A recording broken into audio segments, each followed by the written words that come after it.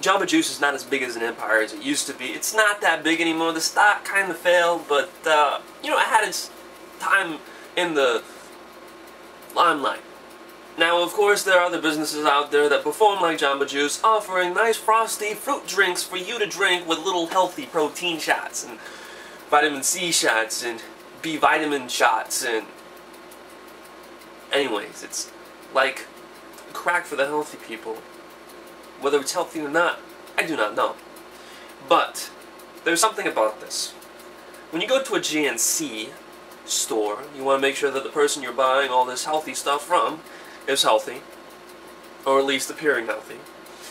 When you go to a gym, you would like your physical trainer to be in good shape. I went to one of these knockoff Jamba Juice joints and was served by an unhealthy, I would say, not grotesque, but an obese woman. That did not stop me from getting my juice drink. But I'm just thinking to myself, how many customers are you going to turn away when you do something like this.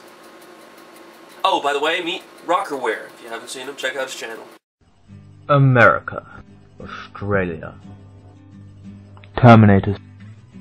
I was just watching the JDiesel's uh, video on this about how America and Australia are teaming up to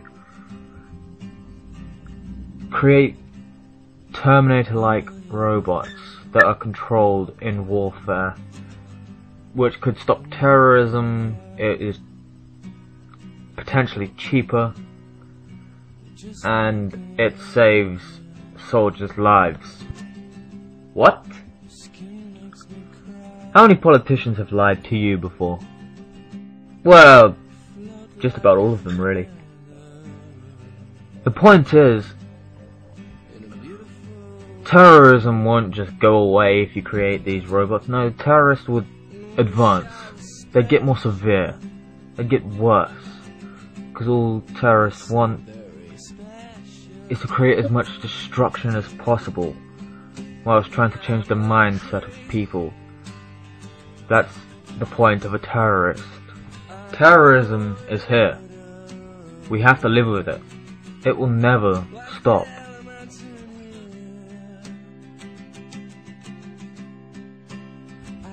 Also, I don't see how creating these robots would be cheaper than feeding, clothing, and producing weapons for the soldiers that we currently have. Then they say that it, it saves lives. Saving lives? Really? Well, what about all the extra civilians that would be lost by accident. And even if it did save lives, what about all the thousands of jobs that it will destroy? This is the wrong move for Australia and America. And that's pretty much all I have to say.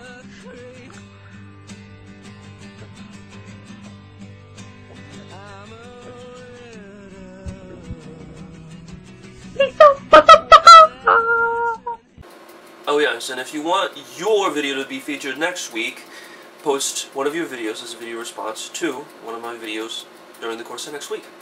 Talk to you later, guys.